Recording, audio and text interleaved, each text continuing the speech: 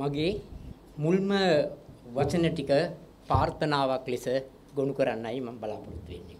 සහභාගී වෙලා ඉන්න ඔබ සියලු දෙනාගෙන්ම මම ඉතාමත් ගෞරවයෙන් ඉල්ලනවා ආයාචනය කරනවා. ඕගොල්ලෝ හැමෝටම ඉදිරි කාලය තුල තොරතුරු දැනගැනීමේ අයිදුම්පතක් ඉදිරිපත් කරලා මේ තොරතුරු පනත ශක්තිමත් කරන්නට දායක වෙන්න කියලා. මම ඉතාමත් මගේ ඒක තමයි මුල්ම වචන ටික සහ ප්‍රාර්ථනය.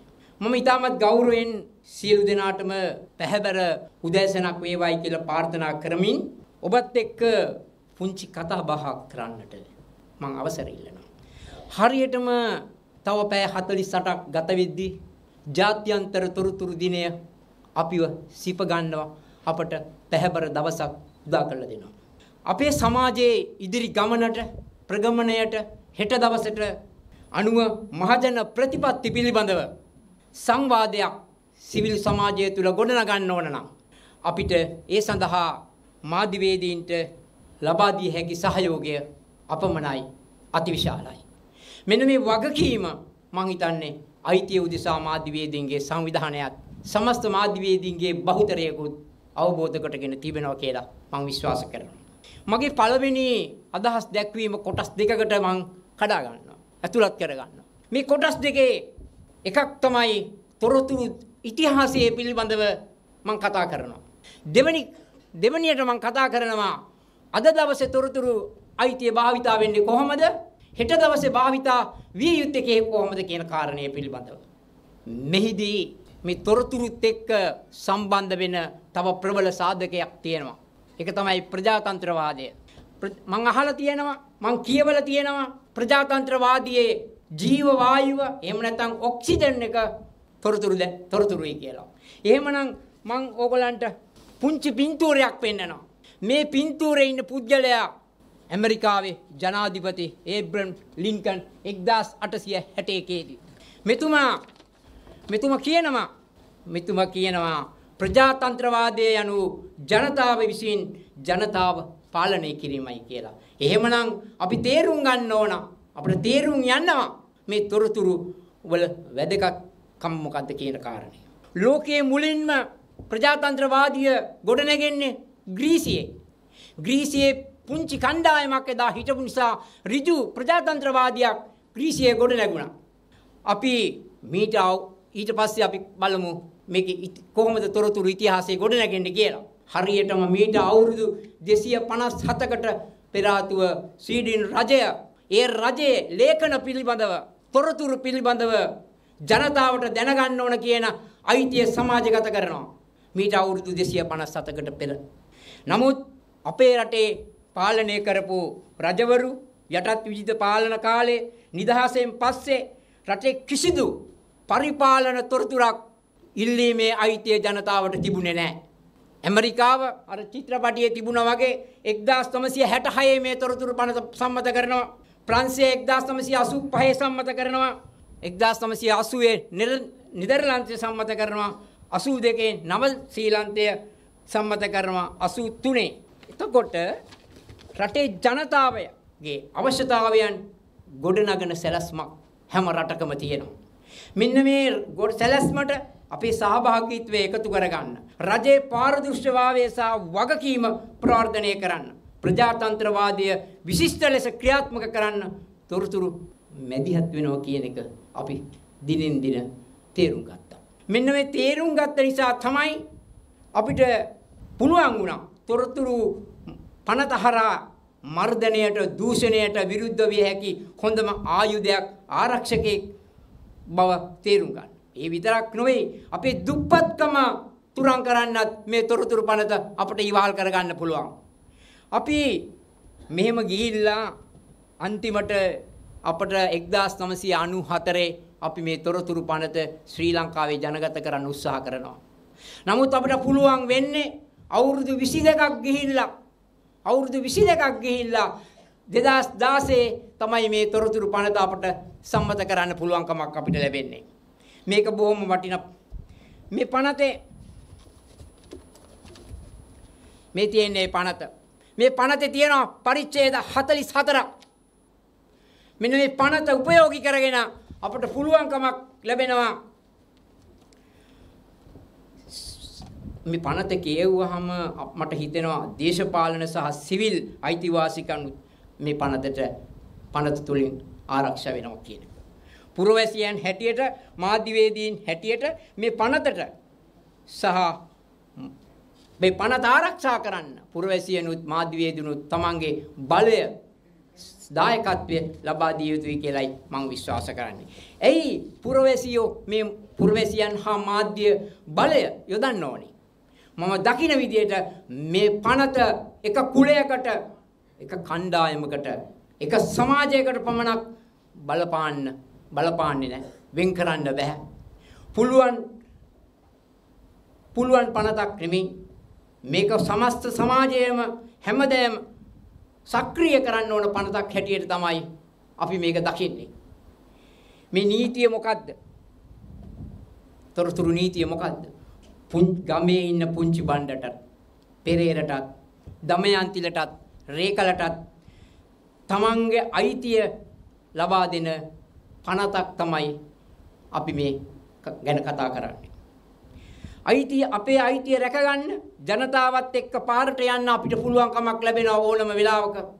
නමුත් ඒ විලාසිතාවට වඩා මම කැමති මගේ පෞද්ගලික කැමැත්ත ජනතාවට නායකත්වයේ දීලා ජනතාවගේ දැනුවත් කරලා මේ පනත සක්‍රීය සමාජයට සතු කරන්නයි. මේ පනත හමස් පෙට්ටියට යන්න නොදී සිටීමේ වගකීම පුරවැසි සමාජයට පමණක් නෙවෙයි මාධ්‍යවේදීන්ට පමණක් නෙමෙයි සියලු පුරවැසියන්ටම අයිති කාරණාවක් බව මේ සමස්ත සභාව සභාව හමුවෙම මම සිහිපත් කරන්න ඕන. මෙන්න මේ නිසා තමයි අයිතිය උදෙසා මාධ්‍යවේදීන් රට පුරා විසිරීලා ඉන්න අද මෙතන ඉන්නවා කුරුණෑගල තිරිකුණාමලේ අම්පාර වවුනියාව දිස්ත්‍රික්කවල අපේ සමාජික පිරිස්. අපි මේගොල්ලොත් එක්ක හදනවා තොරතුරු ගමට කියලා වැඩසටහනක්.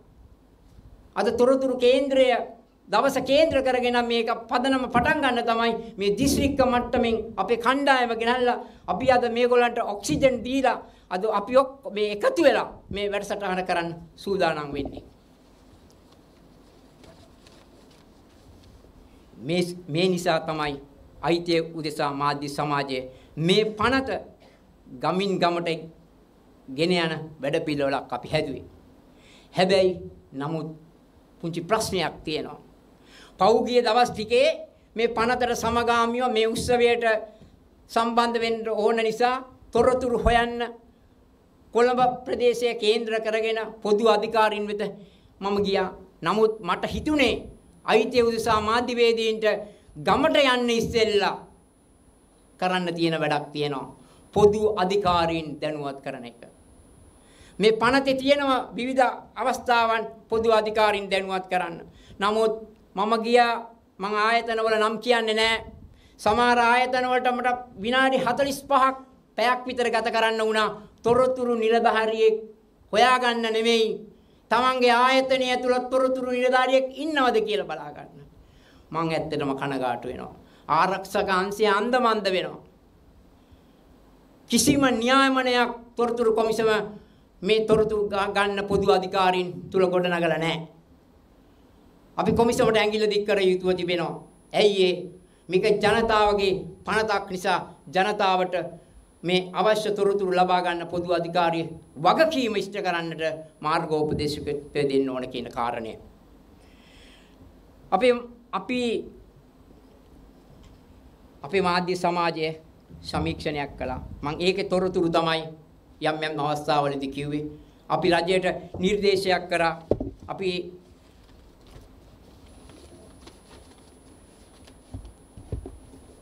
මාධ්‍යවේදීන්ගේ අයිතිය උදෙසා සංවිධානය. තොරතුරු පනත පිළිබඳ සුනෙත් රාජකරුණගේ ප්‍රධානත්වයෙන් තොරතුරු පනත පිළිබඳ හොඳ විමර්ශනයක් ගවේෂණයක් අධ්‍යාපන අධ්‍යයනයක් කරලා නිකුත් කරපු මේ පොතෙන් අපි කියලා තියෙනවා යෝජනා 12ක් අපි ඉදිරිපත් කළා තියෙනවා. මේ යෝජනා 12න් මම එකක් කියන්නම් සංවර්ධන උපාය මාර්ග වැඩි දියුණු කරන්න රාජ්‍ය ප්‍රතිපත්ති සමග තොරතුරු දැනගැනීමේ අයිතියට සහාය වන ආයතනික ව්‍යුහය සහ සම්බන්ධීකරණ ක්‍රියාවලිය ශක්තිමත් කරන්න වැඩපිළිවෙලක් අපි බිහි කරන්න ඕන කියන කාරණය. අවසානයේදී මම කියන්නම් අවසාන 12 වෙනි යෝජනාව තොරතුරු කොමිසමේ විමසී මාර්ගගත තාක්ෂණය වෙත ගෙනීමෙන් ප්‍රාදේශීය වශයෙන් දුරස්ත ප්‍රදේශයන් වසන ඉල්ලුම්කරුවන්ගේ තොරතුරු දැනගැනීමේ අයිතිය ශක්තිමත් කරන්න ඕන කියලා. මේ වගේ අපි නිර්දේශ 12ක් අපි මේ තොරතුරු පනත පිළිබඳව අපි අපි ඉදිරිපත් කළා තියෙනවා මෙන්න මේකයි තොරතුරු පනත වෙනුවෙන් වෙන්න ඕනේ කියලා. මගේ අත්දැකීම් තමයි දැන් මම කතා කරන්නේ. මම 2022 2022 අල්ලස් කොමිෂන් සභාවට මං අල්ලස් කොමිෂන් සභාවෙන් මං තොරතුරක් ඉල්ලනවා මට ඒක පිළිතුරු ලැබෙන්නේ අල්ලස් කොමසාර අල්ලස් කොමිෂන් සභාවේ මට 2022 මං ඉල්ලන තොරතුරට මට තොරතුරු ලැබෙන්නේ 2023 සැප්තැම්බර් මාසයේ 23 වෙනිදායි. අවුරුද්දක් ගිහිල්ලා මේ තොරතුරු මට ලැබෙන්නේ. මෙන්න පොදු අධිකාරිය. මෙන්න දූෂණ විරෝධී ආයතනය. අන්න ඒක නිසා අපි මේ පිළිබඳව කතා කරන්න ඕන. ඊළඟ කාරණය මම මේ සමීක්ෂණයේදී මට හම්බුණු කාරණය. කොමිසම නියෝග කරනවා පොදු අධිකාරිය පුන පුනාමන තොරතුරු දෙන්නේ නැහැ. සලුසල ආයතනයත් එක්ක ගත කරන ප්‍රශ්නයකට. ඒ පුද්ගලයාට අවසානයේදී දිවුරුම් පෙස්තම ඉදිරිපත් කරන්න කියනවා තොරතුරු කොමිසමෙන්. ඔව්. දිවුරුම් පෙස්තමක් ඉදිරිපත් කරනවා. මේ 2020 ඉඳන් මේ ප්‍රශ්නේ තියෙනවා. දැන් නඩු දාන්න ඉල්ලනවා දිවුරුම් පෙස්තමත් දුන්නා.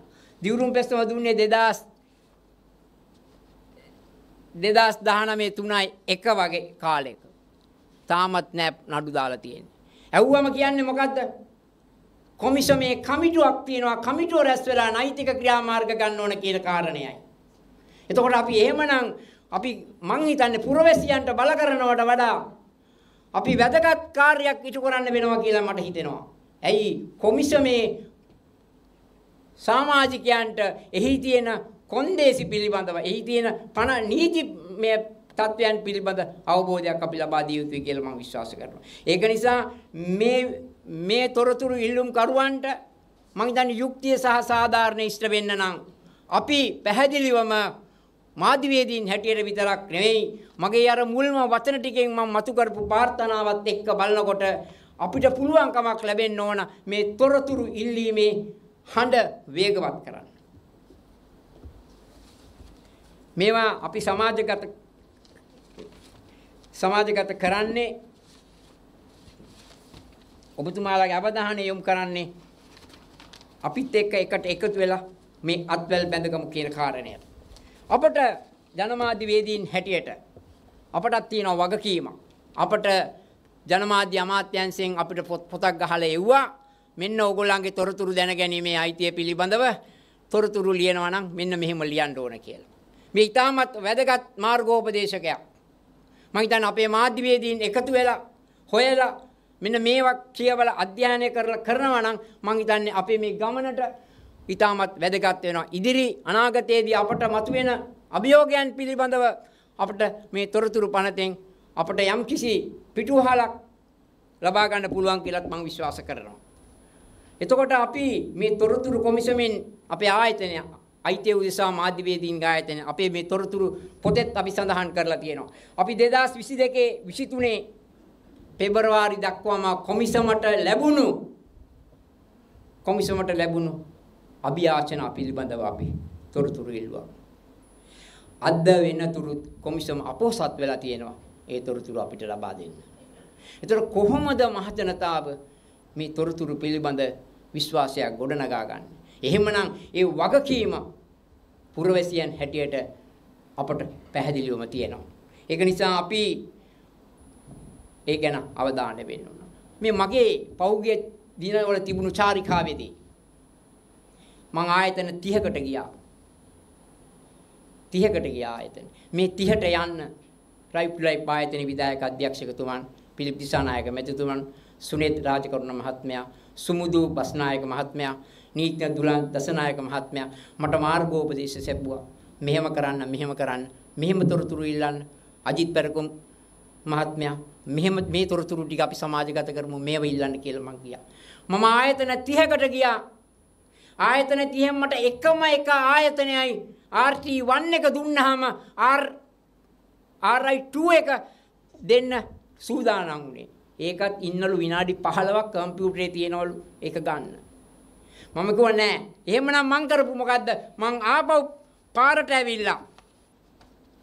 ඒ ආයතන ඒ සියලුම ආයතන වලට ගිහිල්ලා මම ෆොටෝ මගේ ආයුධුම්පතේ ෆොටෝ කොපි ගහලා ආපහු ඒ ෆොටෝ කොපිය තමයි සීල් තියලා මං අස්සම් කරන් ආවේ. එහෙමනම් අපි මේ කරුණු ඉදිරිපත් කිරීම තුල කියන්නේ මේ පුංචි කතා බහේදී අපි කියන්නේ අවධානයට ලක් කරන්නේ තමුන්නාන්සලට. අපි මේ තොරතුරු පනත දෑතට අරගෙන විතරක් නෙමෙයි කර තියාගෙන ගිහිල්ලා සමාජගත කරන්න ඕන කියන කාරණයක් අවධානය කරන තමයි මම මේ නිදර්ශනත් එක්ක තමුන්නාන්සලත් එක්ක කතා කරන්නේ. ඒක නිසා තමුන්නාන්සලගේ වගකීම පැය 48කින් උදා වෙන තොරතුරු දිනය සමරන එක විතරක් නෙමෙයි. අපි ඔක්කොම එකට එකතු වෙලා මේ තොරතුරු පනත අපි සමාජගත කරන්න වේගවත් ගමනක් යන්න ඕන කියන කාරණේ තමයි මම අද සමාජගත කරන්න උත්සාහ කරන්නේ. එතකොට RT2 දෙන්නෙම නෑ කිසිම පොදු අධිකාරියක්. ඒක ලොකු බරපතල ප්‍රශ්නයක්.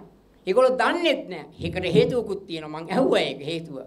අලුත් රාජ්‍ය කළමනාකරන සේවයටපත් වෙන අලුත් නිලධාරීන් කිසිම පුහුණුවක් නැහැ. විශ්වවිද්‍යාලයෙන් පිට වුණා. නැත්නම් අධ්‍යාපන ආයතන වලින් පිටත් වුණා.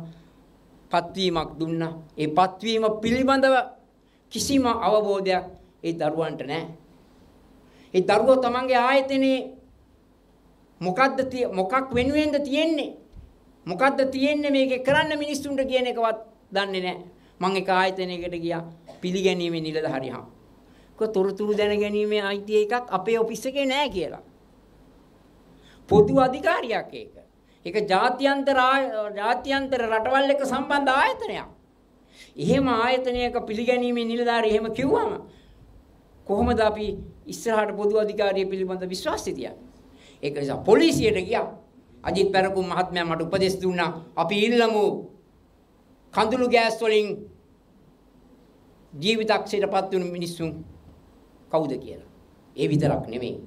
එතුමා කිව්වා ඔවුන්ගේ නම් ඒත් නෙමෙයි. ඔවුන්ගේ මරණ සහතිකවල තියෙන්නේ මොකද්ද කියන කාරණය අහමු කියලා. පොලිසිය පොලිස් දෙපාර්තමේන්තුවට ගියා. පොලිස් දෙපාර්තමේන්තුවේ මගේ නළලේ ඉඳන් දෙපා වෙනකම්ම විමර්ශනය කරා. කරලා රිසව් එකේ රාලාමිට කිව්වා මේක අස්සම් කරලා දෙන්න කියලා. එයා අස්සම් කරා නම්බරේ දාන්න නැතුව නම දාන්න නැතුව. මං කිව්වා එහෙම බෑ. මට මේක නම ලියන්න ඔයා මේ බාරගත්තා කියලා. ඔයාගේ පොලිසියේ අංකේ දාන්න මේක දෙන්න කියලා. එහෙම ඇවිටිලි කරලා තමයි මං ඒක ගත්තේ. ඒ පොලිස් දෙපාර්තමේන්තුව නීතිය ක්‍රියාත්මක කරන ආයතනය. සිවිල් පුරවැසියන්ට සලකන ආකාරය. අනික් කාරණේ තමයි අපි රජයට යෝජනා කරනවා. ජනතාවගෙන් ඉල්ලා සිටිනවා. සිවිල් සංවිධාන වලින් ඉල්ලා සිටිනවා. මේක එක එක පුද්ගලයාට කරන්න පුළුවන් වැඩක් නෙවෙයි. මේක කණ්ඩායමක් වශයෙන් කරන්න පුළුවන් වැඩක් නෙවෙයි. මේක අපි ඔක්කොම එකට එකතු වෙලා එකට එකතු වෙලා ශක්තිමත්ව මේ ගමන අරන් යමු. මේකේ වාසිය අජිත් පැරකුම්ට නෙවෙයි. පිලිප් දිසානායකයන්ට නෙවෙයි. නීතිඥ නදිෂ් නදිෂානි පෙරේරාට නෙමෙයි. රෝහණ කමී කතා කරන රෝහණට නෙමෙයි. ඔබටයි මේකේ තියෙන වාසිය. ඔබේ දුවටයි පුතාටයි මේකේ වාසිය තියෙන්නේ. ඒක නිසා මං තමුන්නාන්සලගෙන් නැවත නැවත ඉල්ලන්නේ අද තමුන්නාන්සලා ගමට ගියාම හෙට ඉඳගෙන අපි අපට තියෙන ප්‍රශ්න විතරක් නෙවෙයි ගමේ ප්‍රශ්න පිළිබඳවත් ගමේ පොදු අධිකාරියත් එක්ක අපි ගනුදෙනුව ආරම්භ කරමු. ඒ තුලින් කාරණා ප්‍රධාන වශයෙන් දෙකක් ඉෂ්ට වෙනවා. එකක් තමයි තොරතුරු දැනගැනීමේ විශ්ව අයිතිය ගමේ පුංචි බණ්ඩටයි පෙරේරටයි දමයන්තිටයි යනවා. දෙවැනි කාරණය තමයි ව්‍යවස්ථාදායකයට එනවා. ව්‍යවස්ථාදායකය මතක් වුණාම මට හිතුණා මේකේ පාර්ලිමේන්තුවේ තොරතුරු දැනගැනීමේ අයදුම්පතක් තිබුණා. පාර්ලිමේන්තු පිවිසුමට ගිහිල්ලා අවංකවම හිටියා පැය එකමාරක්. අවංකවම කිව්වේ තමුන්නාන්සලට ඒක හදවතට වැටෙන්න ඕන නිසා. මේකේ පින්තූරේ වැටුණා පාර්ලිමේන්තුවේ දියවන්නාවේ හඬ. ඒ හඬවල හඬවල ශක්තිය මේ පනත ක්‍රියාත්මක කරන ආයතන තුලත් නැහැ. ඔවුන් තුලත් නැහැ. පැය එකමාරක් හිටියා. මට යන්න දුන්නේ නැහැ. අවසානයේ මට කිව්වේ මොකද්ද? ලියාපදිංචි තැපෑලෙන් තොරතුරු අයදුම් පත එවන්න කියලා කිව්වා. මට ඒක තාම යවන්න බැරුණා. දැනුත් මං කොහොම හරි අද ඇත්ත බැලට දානවා. මං ඒකේ ඇහුවේ පාස්කු ප්‍රහාරය සම්බන්ධ විවාදයේදී විවාදයේදී කොයිතරම් මහජන නියෝජිතයෝ සහභාගී වුණාද කොයිතරම් අය කතා කරාද කොයිතරම් කාලයක් ගත්තද කියන කාරණය. ඇයි ඒ මම ඇහුවේ? ජනතාවගේ ජනතාව වෙනුවෙන් දෙන කරුණ නිසා. කුසුම් වෙනවා කාලේ වියර ඇති. මං කතාව අවසන් කරනවා. අද ඉඳන් අපි මේ තොරතුරු දැනගැනීමේ අයිතිය හෙට දවසේ ගොඩනගන්නට අපි ඔබ හැමගේම ඉල්ලා සිටිනවා සක්‍රීයව දායක වෙමු කියන කාරණය. තොරතුරු දැනගැනීමේ අධ්‍යයනය කරපු පොත පිළිබඳ හොයලා බලලා අරගෙන කියවලා අපි ඒ තොරතුරු සමාජගත කරන්න දායක වෙමු කියලා ආයෝජනය කරමින් අයිති උදෙසා මාධ්‍යවේදීන්ගේ සංවිධානයේට සංවිධානයේ හෙට දවසේ ශක්තිමත් වේවායි කියලා ප්‍රාර්ථනා කරමින් මම නිහඬ වෙනවා. ස්තුතියි.